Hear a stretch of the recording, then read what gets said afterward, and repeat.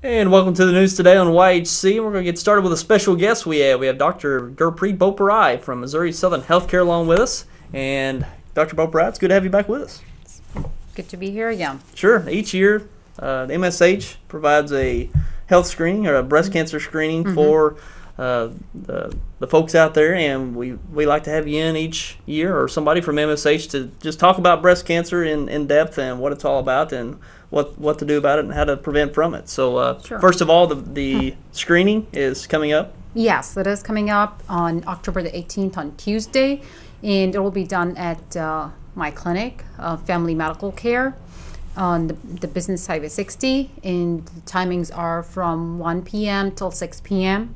And I will be doing the breast exams, and uh, everybody is uh, welcome to come. But the somebody who has a limitation on the schedule, they can make an appointment. But walk-ins are welcome as well. So again, it's on October 18th, and uh, the timing is from 1 p.m. to 6 p.m. Okay. and the screening is free. Is that right? Yes, the screening is free. It's a free breast examination screening. And uh, we're not doing mammograms, but I'll be doing the breast exams. And if I think somebody needs um, some more in depth, like um, evaluation, mammograms, or something else, uh, they will be referred to that. And the mammograms are done at our Dexter Hospital. Okay.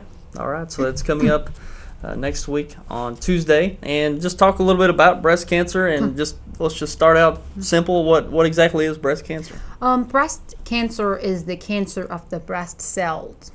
So, in the what it happens is when the normal cells somehow the important chemical called DNA gets uh, damaged, and the cells tr- start to grow out of control, and then these cells actually they don't die as the normal cell cycle, but they keep growing, and they can also take over the surrounding um, cells, and then it can also travel through the blood and the other uh, like lymph to the other parts of the body. Okay. So. Well, how how common or pervasive is breast cancer? Uh, it's very, very common. It's uh, the second most common cancer in the women, except uh, for the skin cancer, and the second leading cause of uh, deaths um, after the lung cancer in women. And it's almost uh, like little less than a quarter million new cases come up, and almost uh, 40,000 deaths from breast cancer every year. And but I would like to say here that uh, there are more than 2.6 million survivors in United States from breast cancer. The early detection from like screening, screening through examinations, through mammograms, and following through. So it, it's very curable now. So yep, so that's very important. So the incidence has actually gone down. So. Okay. Uh, what about what causes breast cancer? We, we're not sure what causes it, but there are several risk factors that can actually cause it. Uh, you, the, your chances of having an increased uh, risk of breast cancer, so they're kind of broadly divided into two categories the modifiables and the non modifiables. The non modifiables are like that cannot be changed. Um, being a female gender, being a woman, because we are women, we have breast dense breast tissue, so that's but the breast cancer grows in the breast cells. And then age, the chances of having a breast cancer increases with the age. And then personal history of previous cancer, breast cancer, family history, and some people are just what we call genetically predisposed, that their genetic makeup is that way, that they're at a little bit increased risk of having breast cancer than other people are. And uh, then the modifiables are that can be changed, like breastfeeding. It actually decreases your risk of having breast cancer to some limit. Exercising routinely helps to decrease your chances of having a breast cancer.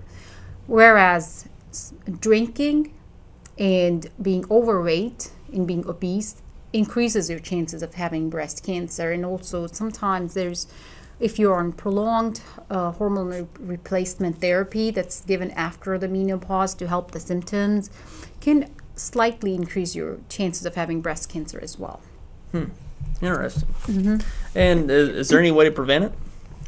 Um, we cannot stop it, but then the prevention is early detection and also working on decreasing your risks, like being healthy, keeping your weight uh, in a healthy range, exercising routinely, you know, you know, doing uh, trying to think do things right, and then the timely screening you know, breast self breast exam, clinical breast exam, and mammogram. You know, and if there is any suspicion, any abnormalities following through them, um, know, that whatever is recommended going through it. So if so, it is detected early stage where it's curable. Okay. Now, is there any age range that someone might need to factor in?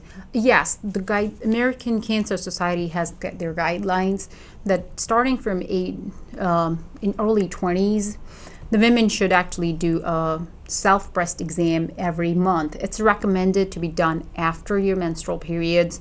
It's mostly to tell like what is for the women to be aware what is normal for each woman. And uh, they should go over with the technique of doing a self breast exam with their medical provider. And also in young women the um, breast tissue is very dense. And sometimes it's better to be checked out with the examination rather than any other imaging first so and for women in age 20s to 30s they should at least have once every three years a clinical breast exam which means the breast exam is done by a medical provider by a physician, a nurse practitioner, somebody who's in the medical field at least every three years, and they should review their technique, you know, learn from the provider how to do a self breast exam. And starting from age 40, every woman should have a clinical breast exam every year with their uh, annual exam and also a mammogram every year. And then this can go up to as long as they are in good health and they want to go get their mammograms done, as it's a factor that the, ri- the risk of uh, breast cancer increases with the age. But uh, I want to stress over here that I have heard and seen a lot of the cases where young women in their 20s have breast cancer as well. They've been diagnosed with it. So at any age, you know, we should be very cautious and should take care of ourselves and get the breast exam done. Okay. Well, this Tuesday will be a good start to come down to the breast cancer screening taking place at the which clinic now? It's the family medical care. It's at the business side of 60. Okay, Family Medical Care here in Dexter on Business 60. You can call. Uh, do you arrange an appointment or? They can either arrange an appointment, they can call our clinic. The number is 573 624 7575, or they can just walk in. Okay. Anywhere between 1 to 6 p.m. They'll be more than welcome. Okay, 1 to 6 on Tuesday, the free breast cancer screening provided by Missouri Southern Healthcare here in Dexter. Dr. Boparai, anything else you'd like to share with our viewers? Um, I just again want to stress that it's very important to get your breast exam done, and also very important starting age 40, especially this for everybody, but very important to be on time for the people who have history of family history of breast cancer or their own history of breast cancer in the past to be on top of it because that's the only thing that can help us to detect it early and then so you can get through the treatment and be a survivor All right. Well, Dr. Boparai, we appreciate you coming by and sharing with us once again, and we'll be looking forward to everyone coming down on Tuesday. sure All right. thank you And we'll be back with your.